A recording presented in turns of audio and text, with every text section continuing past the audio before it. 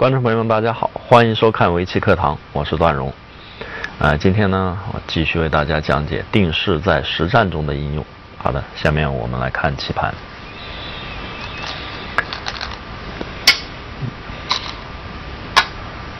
前两期呢，给大家讲了黑棋一间低加之后，白棋点三三的变化。点三三黑棋蓝断，这个定式在实战当中出现的是非常多的，啊，是很常用的一个定式。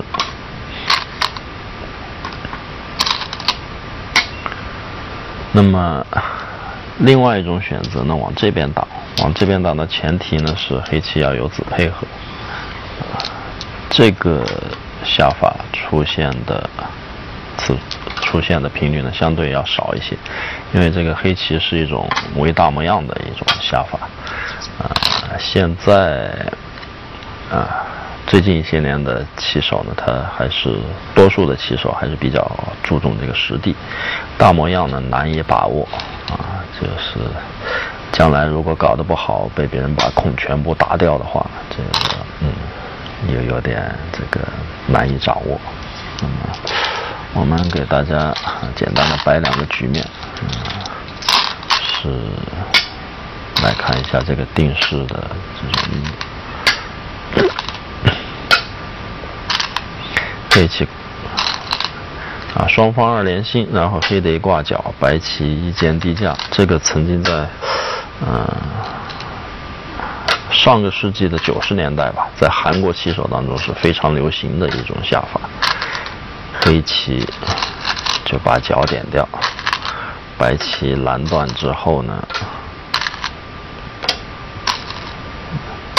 挂角，或者是稳健一点的话，在这拆二啊，这样的局面啊，曾经出现的也是比较多的。或者呢，啊黑棋这时候小目挂过来。啊白棋也有很多棋手采用这个一间低将，嗯，普通的小飞印当然也是完全可以的，但是呢，黑棋拆在这儿或者拆在这儿啊，这形成一种黑黑方的一种套路啊。白棋为了就是避免落入黑方的那种套路，加工啊，黑的如果现在点角呢，白棋当然是往这边挡啊。白棋取得先手之后，在这边高挂或者是低挂啊，这个以这个外势做背景，这边挂过来呢，发挥这个外势的威力，这样的下法也是有的。那么另外还有黑棋更有追求的下法呢，是黑的现在先守无忧角或者大飞角啊，守住，下一步再准备点角。大家可以看到啊，白棋如果在这边走棋的话呢，黑棋占右边的大场；白的如果占这边的大场，黑棋再点角，这个黑棋也是一种很有意思的思路。那么如果下成这样的话，黑棋感觉上比啊比被白棋直接挂过来感觉上要好一些，因为黑棋提前就先守了一步这个。既可以限制白棋外势的发展啊，也自同时又守住自己的角地，这样一种构思。这这种局面呢，啊，在有一个时期的棋谱里面也是经常可以看到。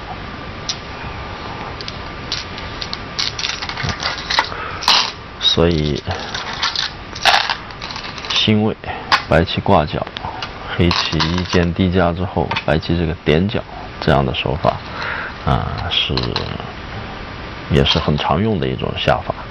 那么除了这个点角之外呢，啊，可以考虑的下法还有很多。根据不同的局面，比方说白棋就这么堂堂正正跳出来，啊，这也是一种，呃，很正常的一种下法。那么黑棋一般来说，啊，需要跳这个或者飞这个，这两种选择是比较正常。那么，因为不走的话，被白棋这样飞下来，黑棋被封到角里头就比较难过。当然，如果啊特殊情况的话，黑棋也有，比如说往角里跳的下法。就是在这边价值不大，让白棋飞下来也无所谓的情况，黑棋可以往角里跳，然后把角地牢牢的拿住。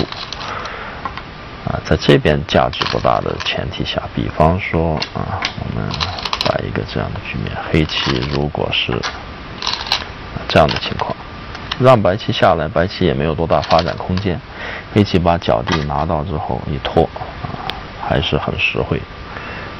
嗯，但是在布局的早期，一般来说，这个被飞下来，白棋在这边，一来呢自己可以发展，二来如果破坏了黑棋的发展性，那么黑棋一般来说是不肯的，所以还是要在这边跳或者飞。我们先看跳，黑棋跳出来以后，白棋可以考虑的下法呢，一种是反夹。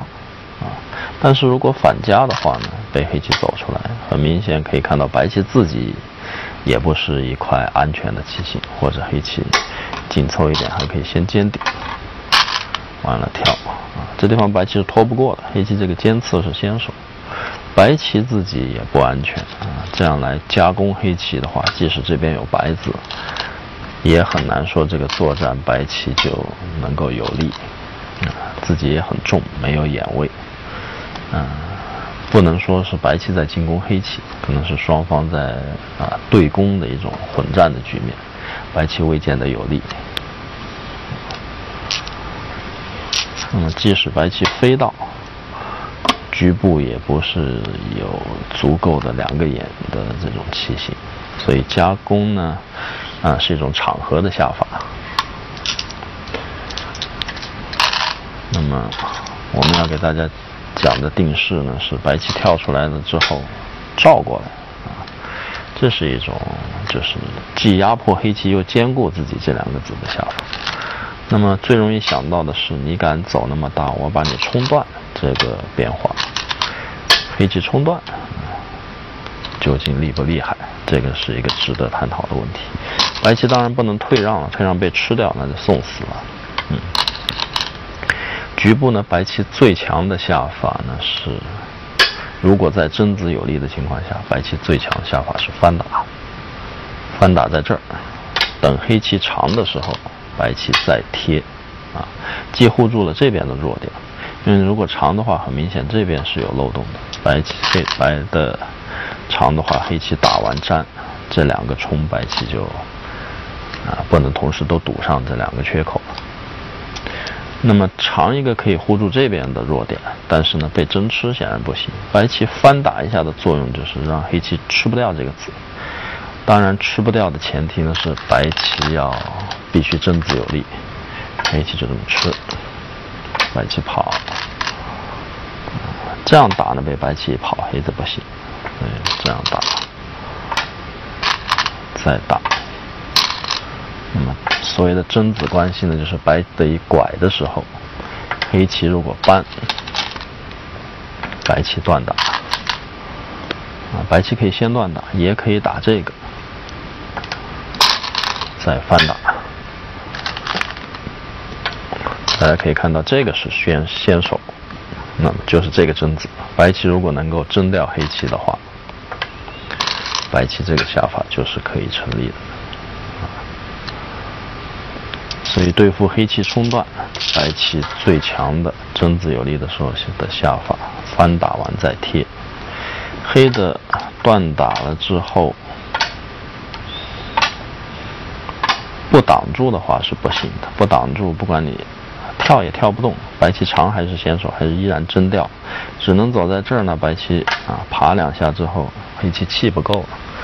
白黑的只有四口气，白棋只需要爬两下就把黑棋给收死了。所以这个跟贞子有关系。那么贞子不利的情况下呢，黑棋就不能打完这样挡。黑棋也不是说就不行了，黑的也还有补救的方案。黑棋翻打在这儿，白的如果跑的话，黑棋长啊，这边要加吃或者真吃白棋。白棋不管贴这个或者拐这个都是后手，贴的话黑棋可以先扳一下，这一挡把白的给挡死了，拐也一样，黑棋一挡白的死掉，所以黑的翻打在这儿的时候，白棋这个子实际上是不能跑的。白棋这个子如果跑，被黑棋一长，两个子还是要死。那么白的得在下边补棋，拐一手，黑棋把这个提掉，啊，白的搬起来，形成这样一种转换。局部呢，白棋是很满意的，把黑棋这两个子就这样吃掉了。啊，所以局部来说，白棋在争子有力的时候，一定是不怕黑棋冲断的。啊，这种转换呢，可能黑棋也是一种场合的下法啊，破坏白棋啊，在某些场合需要破坏白棋走外势的目的，黑棋可以这样下。但局部而言，白棋满意。那么在争子不利的时候，这个反打很显然就有问题啊。刚才那个变化的结果，下到最后。争不掉黑棋，那白的就被全部都被吃死了。我们再复习一下：白棋拐弯打吃，依靠这个先手，如果这一旦争不掉的话，白棋就崩溃。所以这个翻打啊，也是一个有前提条件，需要争子有力。那么争子有力的时候，可能啊，有的观众会想到：哎，你打吃，我常被贴，不行。那我从这条路钻出来怎么样？那白棋当然高高兴兴的先拔一朵花。黑的如果是这样委屈的粘回去，虽然能冲断白棋，但是呢，这个应该说白的是很满意。在这边可以围大空的情况下呢，白棋就挡一个就行了。如果这边没有价值，白棋点在三三，将来点三三还可以活角，这个子冲了价值并不大啊。所以呢，黑棋这个粘是肯定是不行的。那么最强的下法是打上来。当然，白棋真白棋如果劫财有利，可以开劫啊。即使劫财不利呢，白棋也可以去制造劫财。这个黑棋，感觉非常的危险。比如说白棋这样制造劫财啊，黑的感觉风险比较大啊。那么即使白棋粘上。就白棋就选择最老实的下法，中间这个后的价值也是很可观的，当然白棋很有可能会选择更激烈的造劫之类的下法，啊，所以这样挖打出来被白的先拔一朵花，啊，那黑的风险太过大了，啊，风险过于大了一点，一般情况下不应该这样选择。那如果是黑棋争子有利的情况下，黑棋冲断，白棋，我们来看一下白棋的对策，翻打就不成立了。那白棋可以挡下去，黑的打的话，白的长，站上呢，白的拐，黑棋可以冲过来，黑棋冲过来之后呢，白棋啊，二路搬是先手便宜。之后呢，假如争不掉这个子的话呢，白棋跳一跳，在外边呢形成一个，啊，黑棋可以断，黑棋是把白棋切断了，但是这个子同时呢也是一个孤子，啊，这个谁好谁坏呢，也要看，还是要看，啊，周围的棋子的配合情况，才能，啊，才比较好判断。啊，总之呢，黑棋在真子有利的时候是存在冲断的可能性啊。这一招啊，要注意这个问题。黑的真子有利，黑棋有可能冲断。那么白棋挡下来的时候，黑的如果啊，如果想先搬一下啊，先搬一下，白棋如果跟着应，那黑棋再把这个冲掉的话，很显然角就吃的大得多了。但是黑棋搬呢？呃，也存在一定的问题。一来白棋又可以挡到一下之后，避免了被黑棋断吃，白棋可以选择这个下法，这是一种可能性。二来呢，白棋也可能就断，然后搂包，把黑棋封在二路，这也是一种可能性。啊，所以黑棋这个二路搬呢，并不见得能占到便宜。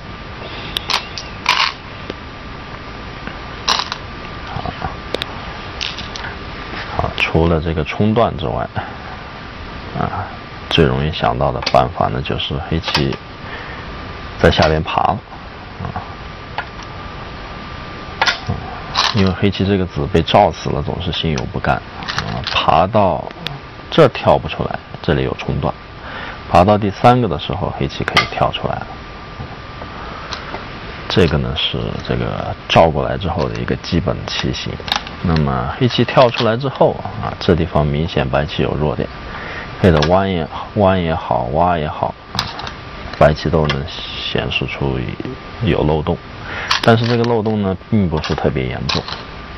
黑棋弯的话，白棋啊不一定要这么硬邦邦的粘上，这样被黑棋冲，白棋反倒不好办了啊，也不一定要粘这个啊。白的可以很很灵活，直接活到三三去，这个三三还是可以活得很舒服的。黑棋这一弯呢，从实地的角度来讲，啊，得不到多少东西。挖的话呢，白棋打吃，挖要紧凑一些，但同时呢，也把白棋走得更厚了，是可以把这个子冲断。啊，但是呢，白棋在点三三还是留有活脚的余地。黑棋啊，要想杀掉这个子呢，很不容易。挡的话，白棋小尖。黑棋往这边封锁的话呢，白棋在脚上扳虎。大家可以看到，白棋甚至接上，这都基本上可以保证进火。黑棋来杀的话呢，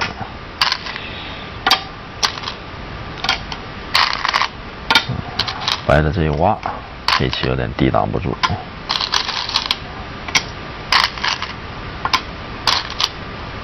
冲出来了，嗯，黑棋是杀不掉的。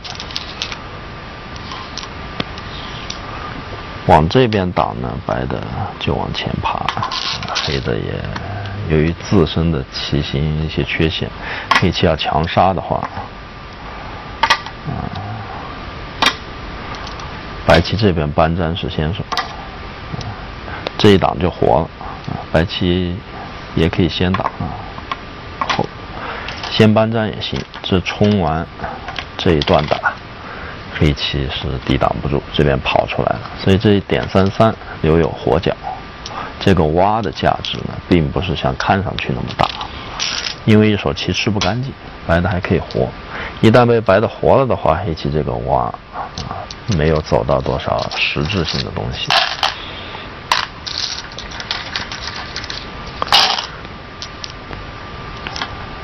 那么下成这样呢，就形成啊，白棋可以根据情况补一手，或者是在这边逼过来，就形成一个白棋呢得到一种势啊，黑棋呢得到一些实地。啊，啊，根据不同的局面呢，白棋跳了照也是很有利的一种手段啊。比方说，我们举一个例子，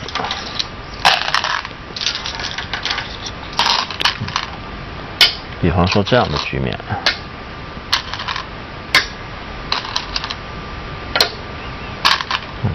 黑棋三连星，白的也三连星，黑的挂角，白的一键低加，黑的当然是可以选择点角的。啊，但是为了跟前边走大模样的意图连贯，黑棋这个跳出来也是一个不错的选择，然后再照过来，我们可以看到现在这个局面呢，黑棋正子有利，白棋冲完如果断这个，那黑棋这一翻打。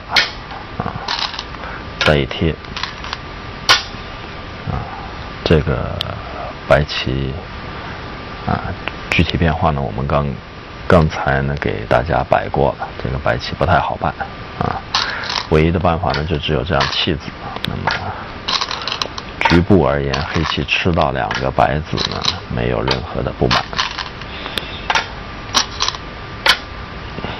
黑棋把白棋吃掉。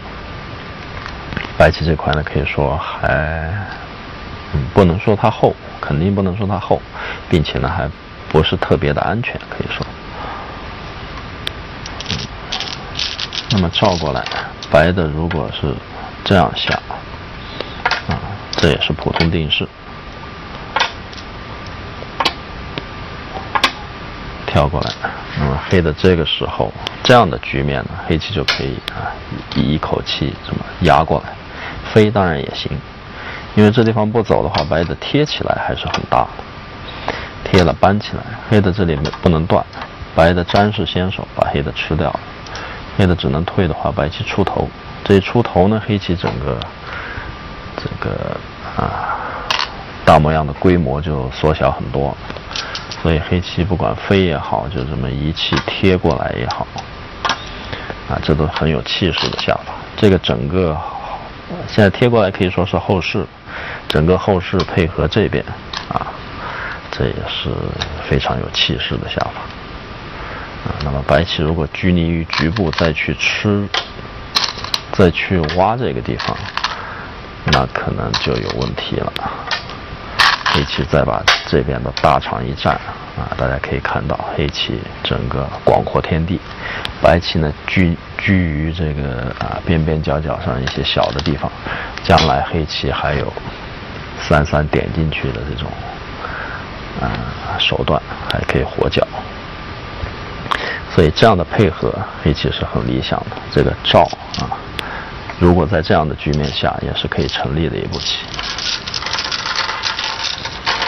那么，白棋直接冲完拐了之后，这个黑棋这个弱点并不明显，也就是说，白棋来冲击的话并不严厉。那么这时候呢，啊，就有棋手想到一个办法，啊，他说：“我白棋先尖顶你一下，这里扳过很大，你不是要立吗？好，等你立下来，我再这么走。”啊，大家可以看一下这个区别在什么地方。再跳出来，我们假设还是刚才这样的局面，黑的如果还是这样压，那白棋这个这个冲击黑棋弱点的手段就变得严厉的多了。为什么呢？黑棋依然还是不能这样打，这样打被白棋长出来，很明显被包进去了，只能走这个。同样，这个还是粘不上，粘上被白棋断打，打完一贴全死了，所以还是本手还是粘在这里。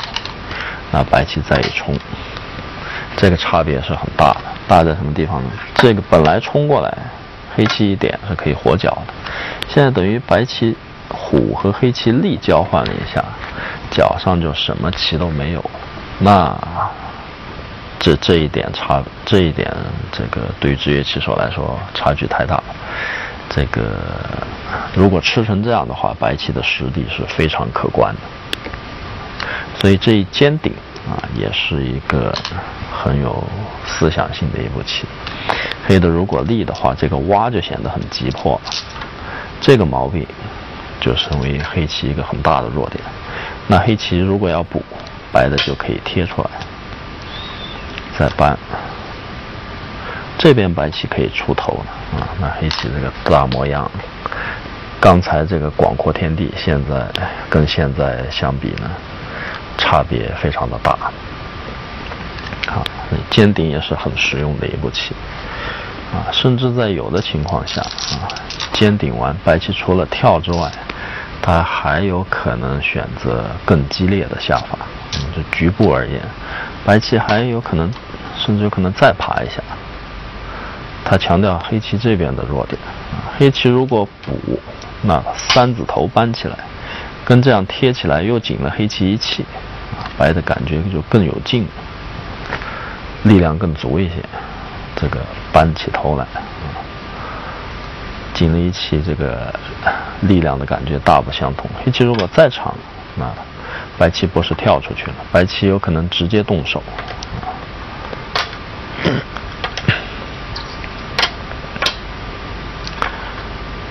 直接在这边动手，跟黑棋杀气，贴在这儿。黑的拐的时候，白棋顶在这里。下一步一搬，这个白棋气就长了。黑棋要收白棋的气，我们来看一下。白棋立一个呢是这个杀气的要点。我们计算一下这个地方的啊死活问题。如果黑棋搬，啊，这地方需要注意的是，白棋挡的话，并不是一个杀气的好的办法。被黑棋点在这儿，白棋的气是很短的，这样呢，白棋被黑棋吃死了。所以这个挡并不能延气，反倒对自己有不利的效果。我们可以把这个地方看成白棋的先手啊，黑棋必须走这儿，这样来杀气呢，白棋反倒赢了。这个很有意思，因为黑棋长进来以后有两边不入气的问题，这边进不来，这边也进不来啊，这是杀气的时候需要注意的问题。黑棋这边有不入气的情况下啊，有不入气的情况下，这这口攻气对白棋是有利的。黑棋搬，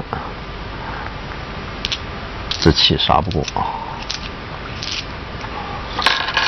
那么大家可能会想到，哎，你刚才占了这个点，所以黑棋慢一气。那我如果先占这个点，你如果接上，我再一扳，不就把你扳死了？但黑棋占这个点的时候，白棋也不会去走这个，这个是撞气的下法，白棋就把眼做出来就可以了。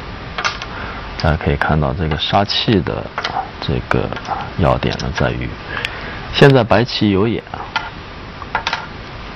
有眼呢，这口攻气是对有眼的一方有利啊，因为白棋不用去填这口攻气，白棋只需要收外气，黑棋这黑棋要去填这口攻气啊，那么黑棋还是不入子，被吃掉了，所以这一尖顶。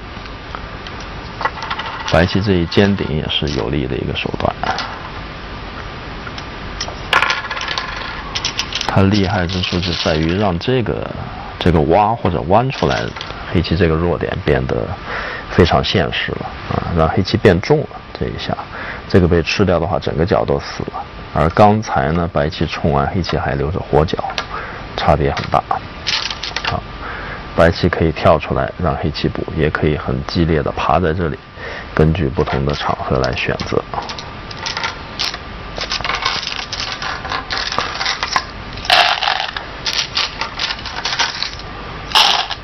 这个是白棋在黑棋照的时候，白棋尖顶的意图。这个我们通过前面的参考图呢，给大家说明。黑棋立的话呢，白棋再爬出来，这是白棋的意图。那么作为黑棋来说，针锋相对的手段呢，就是啊挡下去。你既然不爬，我把这个挡下去。啊，白棋搬，黑的顶，这个也可以说是一个基本定式。黑棋呢棋形很厚啊，这边挡下来以后，比方说这里有子配合的话，我们还是看刚才这样的局面。这边有子配合的话，这里挡下来，黑棋也还是很广阔，阵势很可观的。啊，但是白棋也很舒服，白棋这先手扳到一下脚上的实地，也拿到了不少。这是一个基本的定式。啊，但是呢，啊，这棋总是，啊，就说棋手总是不满足啊。刚才这个白棋尖顶到扳倒好像不错，但是呢，有的棋手就想到，哎，我刚才这样的棋形，虽然脚上实地是不小了，但是呢，将来黑棋来这边啊骚扰的话，至少黑棋可以这样啊破掉白棋脚上一些空，啊，这个子白棋如果放这儿，那脚地就更完整了。也有这样的想法啊。那么关于这个小飞啊，嗯，关于这个小飞的变化呢，我们下一期接着为大家讲啊。今天就先为您讲到这儿，谢谢您的收看，我们下期再见。